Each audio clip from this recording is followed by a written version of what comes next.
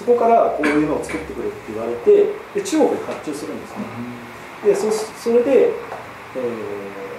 そのメーカーに卸すんですけどまああの中国人の人がね働かないんですけど、あのある時電話すると「いや担当が死にました」とかですねバスが1日に1回しか来なくて、えー、今日はもう終わりましたみたいな言うんですよ。でそれを、まあ、こうまたメーカーに言って怒られると「お前バカか」と「あの本当クソだ」ぐらいなことをあの年配のおばはんたちに言われるんですよ。それが毎日続くんですよ。で、まあ、それで非常にストレスになってましてで、まあ、どうしようかなというふうにこう悩んでたんですね。でその時に、まあ、とはいえあのその時彼女もいたんであの、まあ、彼女といても幸せだし、まあ、このままサラリーマンでもいいかなと。もういいやと。いうふうに思ってたらあのその彼女がこうまあなんか感づいたんですよね。こいつはかっこ悪いと思ったんですね。で振られましてでもう本当にこう一人ぼっちになってですねその67月ぐらいの時ですかね会社になって。でこれやっぱりサラリーマンでいかんなと。なんかこう勝負しないとあの人生もったいないとかっこ悪いんだと思ってで悶々としてた時にもう一回金持ち父さんを読み返してですね、うん、やっぱり独立しようみたいな思ってですね。でそれで夏夏休みあのお盆ぐらいの時にでもう独立しようと思ったんですけどまだ不安だったんで一応保険かけてこうと思ってパチスロに行ったんですね。でパチスロでまだ勝てるようだったらこれは独立しようと思ったんですね、でそしたらあのたまたま2日連続で勝ってたんですあこれまだいけるぞと。まだ自分のノウハウが通じるぞと思ってそれでもうそのお盆終わった時に辞表を出しましてこれはもうやめますと。で上司とかもびっくりしましたけどもうやめるのかしたけどでそれで9月1日で独立をしたんですね。で最初何をやったかっていうと、えー、パチスロ法であの資本金を作るために そこからもうあのずっと通いましたね。で、えー、どのぐらい通ったかあのそうですね。うんとでそれです2か月で120万食べたんですよ。すごくでその2か月ではもう本当休みなしなんですね。あの土日もやってますから本当にもう命がけでやってまして。でこれ言うと結構ですねそのパチスロでお前食ってったらいいんじゃないのかと思われるかもしれないですけどこれものすごく過酷なんですよ。パチスロって。どのくらい過酷かっていうとまず、えー、朝5時ぐらいに起きます、うん、であの隣町まで車で行くんですね。で7時ぐらいに並ぶんですよ。で7時に行って荷物を置くんですね。こう自動ドアの前に置いたりとかして。で、えー、まあ割と常連さんとはこうコミュニケーション取れてるんで、うん、まあ8時ぐらいになって、まあ、並び始めるんですけど。で9時にスタートします。そしたら全力疾走でダイエットに行くんですものすごいスピードで行くんですよ。でフロア滑るんで、もうここら辺からキャーって感じ滑ってこう間入ってもうキーケース投げてとかいうことをやるんです。でそれで置いてで9時あのそのスタートするまで待つんですけどでそこから、えっと、10時半までなので大体13時間半ぐらいですよね。あの打ちっぱなしなんですよ。で1回転でも多く回さないと損なんでずっと回してるんですでトイレ休憩3回ぐらいで、うん、運良ければ昼の30分ぐらい休憩できるぐらいでそれを13時間半続くんですよ、うん、で終わったら終わったでデータをその島のですね50代全部データ見るんですよ。で目星をつけてくるんですよ。この台は明日は出る今日はここ出方が変わったみたいなのをチェックするんですね。で外から何か分かるんですか？あデータがあの見えるんですよ。お店によって見えないところもありますけどそこのお店は3日分ぐらいはデータ出るんですね。そういうのを見て記録してで家に帰ります。10時半閉店してで家に着くと12時ぐらいなんですね、うん、そこからあの今度そこのお店はいいところであのパソコンでデータが見れるんですよその日の。で波とかが見るでそれを見て目星をつけて、あこれは明日かな。これ2番目の候補だなっていうのをこう決めたりとかしてで朝また5時に起きてっていうのを永遠やるんですね。あ出そうなところ前日調べた中で、はい、これは出ると、はい、いうところに一目散に。そうですね一目散に足を、うん、はい、取らないとあの競合もちゃんと知ってますから。でかぶる時とかもあるんでで一般のお客さんは知らないんですかね？知らないですね、はい。まあ、たまに聞かれて説明するんですけどうんって感じがされて、うん、これ出ますよとか言って「うんなんで分からんの?」みたいなことはよくありましたけど。そういう感じで、まあ、今もそうなんですか？いや今は、ね、通じないですね。はい。もう全然当時と状況が違うので、はい、でも朝から並んでますよね。並んでる人いますね、はい、そうですね、まあ、それで勝てればいいんですけど、まあ、そういうそれぐらいやらないと勝てないっていうのがもう分かってるんで、うん、もう本当にやりたくないっていうのは。ありますねでそんなこんなでそれで2か月で120万を貯めましてで、まあ、その時にあのだんだんねそうなんです。苦しくなるんですよ。あの苦しいってどういうことかというと、うん、気づくやつが出てくるんですね。あいつはなんかこう分かってるぞっていうので研究し始めるんですよ。そうすると台あの当たる台って限られてますから、うん、に対して競合を増えるんですよ、うん、ででなのに当たりの台がどんどん減っていくんですね、あのお店側ももうお客が来るって分かってるんで、あんまり出さなくてもお客が来るんで当たる台が少なくするんですね、だけどライバルが出てくるでこのままじゃもう食っていけんなと思って、もういよいよちゃんとビジネスやろうっていうふうに考えたんですね、まあ、それでだらだらと34か月ぐらいは月に30でなんとかこう食いつなぐことをやってましてでまあそこからまあ24歳の春ぐらいですかね、まあ、これちょっとスロットは苦しいということで、まあ、なんかビジネスやろうというふうに考えましてでそこからいろんなこう、まあ、ビジネスやるにも商品今のスロットの話ですけど、はい、お店によっては、はい。そうなんていうかゆゆるいお店ってあるの？あります。はい。あるんですね、はい、あります例えばそういうお店を探すそうですね、はい、僕は愛知県出身なんですけど名古屋中のリサーチするんですよ走って車走ってて、うん、まずデータが取れないといけないと。データが取れないところもあったりとかするんで、取れないお店は外すわけです、そうですね、はい、あと若いやつがあの楽しそうに売ってるとこはもういかないです若いやつは技術がすごい高いんで、うん、自分じゃ勝てないと、うん。で一番いいのはおじいちゃんおばあちゃんがゆっくりと楽しそうにやってるところがいいんですね、はい、なのに出てるみたいなところ。であとできればお店が新しい方がうん、なぜならその新しく作ったお店っていうのはあの5年ぐらいは赤字覚悟で出すんですよ、はい、でそれで定着させてから6年目からこう回収外れ入る。のでその出てる期間は勝ちやすい。っていうところをいろいろリサーチしてやってである時とかですねもう本当に命がけでやってる時とか閉店をになってから自動ドアの前で寝たりするんですよ。自動ドアの前に寝てれ寝てれば次の日になっても必ず一番になる、はい、そういうことをやったんですあ本当に大変でした。隣町とかに行くとまたこう縄張りとかが違ったりとかしてもみくちゃにされたりとかするんです縄張り。縄張りとかもう常連がいるんですよ。もみくちゃにされてなんかキーケースがなくなったりとか、うん、ジャフ呼んだりとかしてです。ね 帰れないのでそういうこととかあったので結構大変でした、あとあのこっちの人とか揉めたりとか、うん、あの隣の人をねこうちょっと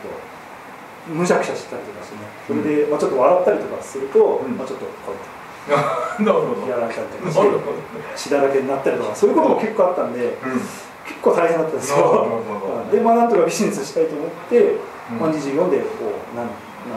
なんな何かやろうなっていうふうにスタートしたところですね、うん、でそれで最初はですねいろんなこうあの代理店ビジネスやりました。僕う。さんくさいものからいろいろやりました。お米の販売とかね。歯磨き粉の販売とか。健康食品とか通信系の代理店とかですね、うん、そういうのやってですね、まあ、そこそ、まあ、数万円とか儲かるんですけど、どうもこれでブレイクする予感はしないと。いうので、えー、悶々としてたんですけどどうやって売ってたんですかそれ？えっと、それもインターネットで売ってました、はい、ああコメントがいいんですかネットで。ネットで、はい、特にメールマガジンですね、はい、でそれで、まあ、そういうことをやりながらあのインターネットで売るっていうことがなんとなく分かってきたんであの自分すごいこう口下手で恥ずかしがり屋なんであんまりこう営業が得意じゃなかったんでなんとか、はい、なんとかインターネットで売ろうっていうのを研究してた時に、うん、まあ、こうだんだん分かってきたんで、うん、まあ、それで、あのー、そうですね。それで12月ぐらいですかね。その時にあの忘年会あの同窓会に呼ばれまして同期の、うん、で自分がこういうみっともない状態だからあまりこう行きたくなかったんですけど「うん、いや来いよ来いよ」って言うから車で向かったんですけどその時になぜかですねその車がぶっ壊れてですね走らなくなったんですね、うん、なんかタイミングベルトが切れたのかなんかで。でそれで、まあ、その忘年会あの同窓会に行けなくなったんですけどまた車壊れたんで、うん、なんとかこう修理代も稼がなきゃいけないというので、うん、ーんって悩んでた時にあの当時あの神田正則さんとかすごいこうコンサルタントブレイクしてたじゃないですか、うん、でいろんな情報販売とかしてたんで、うん、これは俺でもいけるんじゃないのかなと思ってですね、あのまあコンサルタントのもう本当著名な方先ほどあのお話にも出てきました。船井総本の船井さんとか、もうすごい大御所の方とかいる中で、大前健一さんとか神田さんとかいる中で、こうどうやったら自分が勝てるのかなと思った時にあのインターネットのマーケティングのノウハウだったらもしかしたらいけるんじゃないかと、うん、マーケティングってなるとでかすぎるし、うん。えー、集客って考えると経営コンサルってなるともっとでかすぎるんで、うん、これ厳しいと。ウェブのマーケティングだったら自分でも参入できるんじゃないかなと思ってですね。で20年前？そうです2345ぐらいですから15年ぐらいかはい、2002年2001年ぐらい。2001年3年ぐらい。じゃあまあ、はい、みんなアナログそうですね。まだまだほとんどアナログの時代ですね。そうですね、はい、でそのウェブマーケティングの中でも大体主流がですね検索エンジン対策 SEO かメルマガの2つぐらいしかなかったんですね集客方法が、うん、で SEO のコンサルタントも結構いたんですね、うん、検索エンジンの上の方にあげますか、はいいうコンサルとか結構いたんで。でもメルマガのコンサルっていうとあんまりそこまでいなかったんですね。平野さん平野さんはその時ブレイクし始めてたんですね、はい、で平野さんぐらいしかいなくて。そうですね、うん、これはメルマガぐらいまで特化したらまあまあいけんじゃないかなっていうので、うん、まあ、メールマガジンの集客のノウハウっていうのを、まあ、情報商材を売ったんですね。それが割とブレイクしまして、それファイ PDF ファイルかなえっとホチキスでか紙で、はい、発送してました、はい、それが月あの5000円で最初売ったんですけど、はい、月100本ぐらいとか最初注文入ったんですよ。でそれでおこれ売れるんだと思ってで当時2万円ぐらいのプリンターであの1分に2枚ぐらいしか出てこない感じなんですよ。それでずっと待っててですね 出てくるのをひたすらホチキスで持ってで当時あのみすぼらしい格好の紙もボサボサだったんですけどそれでか紙袋にこう持ってですね教材あの郵便局に行くって毎日をやってたんですね、それでこれもいけるんじゃないのかなっていうところで、まあ、そろそろこうなんかちゃんと法人化しないといけないなと思って2003年の10月に、えー、法人登記をしました、でその時にそれは、はい、メルマガで？物を売るのをそうですねはい、はい、メルマガで儲けると、はい、でそれで法人化してでまあ非常にビビビリだったんでこの商売もずっと続くわけないと、あのー、すぐこう真似されたら終わりだし、えー、やっぱりお客さん。簡単にその商材の中身どんな感じ、はい、こういうキャッチコピーにしましょうとかですね。もう本当あの当時神田さんとかやってたようなのも、そのまんまですね、はい、キャッチコピーと。あとどうどうやったらお客さんが読者が集まるかとか、で当時例えばマグマグとかでメールマガ発行すると、はいもう多い時で1000人ぐらい無料で集まるんですよね。出すだけで。今はもうそんな集まるんです。数十人も集まらないんですけど。でそれを何個も何回もやれば読者が集まると、でそれでそこから売りましょうみたいなことを言ったりとかして、あと当時ヤフーとかもメーリングリストっていうサービスがあって、はい、例えばサークルとかで使ったりとかするんですね、そこにも登録あの登録すると登録するだけで300人ぐらいとか集まるんですね、でそれで集めて、リスト集めリスト集めてそこで商売しましょうみたいなことをノウハウに出して、で、まあ、それが割と売れてですね、多い時ででも月100万ぐらいですかね。50から100万ぐらいっていうのが、まあ、数か月続いたんで。でそれで法人化したんですね、はい、で、まあ、でもこれがずっと続くのはちょっとどうか怪しいとか、えー、こんな状態をこうずっと信用しちゃいかんということで、であそうか。でその時に会員制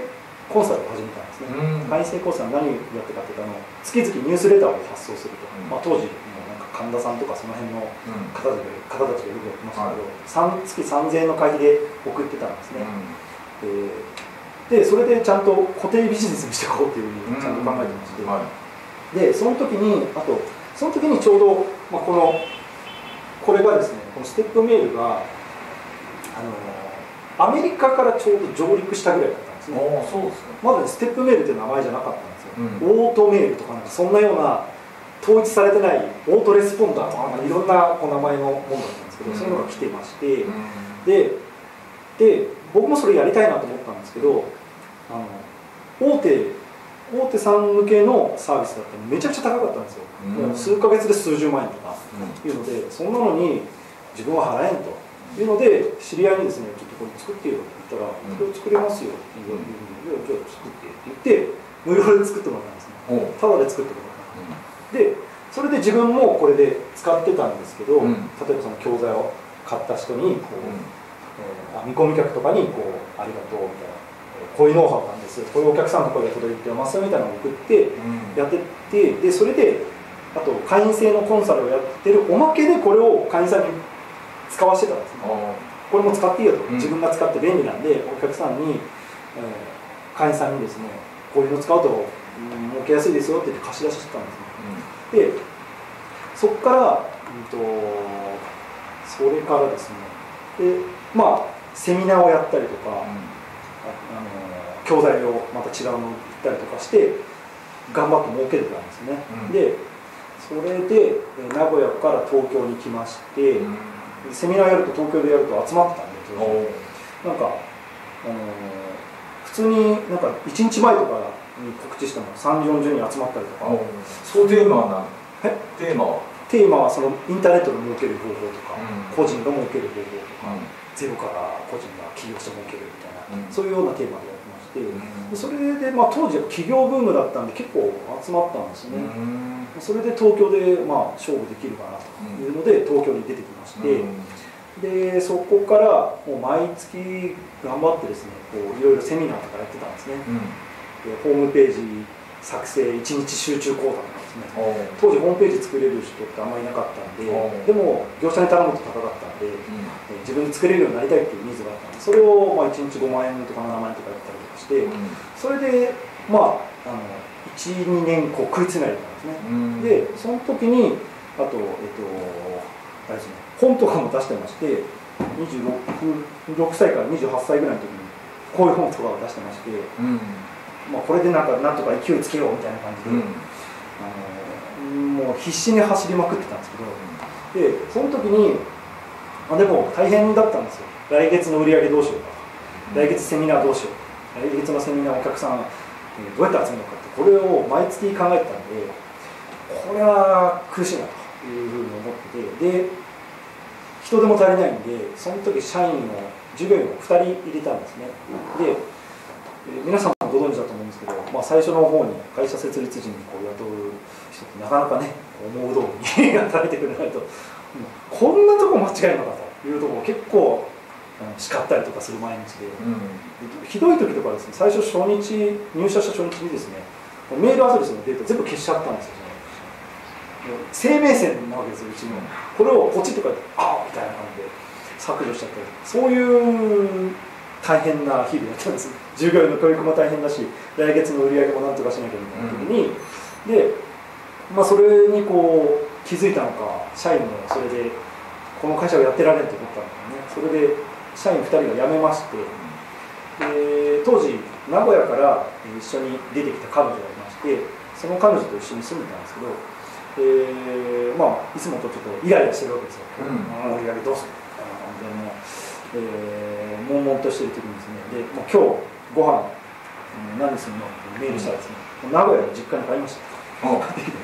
ええー、みたいな思って家に帰ったら本当荷物がなくてですね。ガラガラの状態で。でこれはもうなんもうなんかなんとかちゃんと経営をまともにやらないかんと。いう時に、その時にあの茅野さんの本ですねこれ、うん、これを、まあ、あの昔ちょっと読んでたんで、まあいいなと思ったんですけど、まあそれ初版ですね。そうですね。私は名前が小さいから、はい、そうですね。でこれってもう一回ちゃんと経営を勉強しようと思って、この本をめっちゃ読んだんですよ、うん、と武田さんのこれですね、はい、これはもう毎日のように読みました、うん、もう手垢がこうついちゃうぐらいです、うん、毎日毎朝夜ぐらいは必ず赤字のところを読むでこうなんか商品は一つに絞るみたいなのが書いてあったり、うん、はいみたいな感じでこれちゃんと謙虚にですねなってですね。学びまして、そこから変わったんですね、でそこからあのここからあの会社の、まあ、どうやってこう1万3000社にしたのかって話なんですけど、でその時にもうこういつもイライラしてセミナーはやらないかんなんとかしないかんと思ってるのにふと気づいたらこれの会員さんはポツポツ申し込みとかあったんですね。俺は一生懸命営業してないのに問い合わせとか来たりとか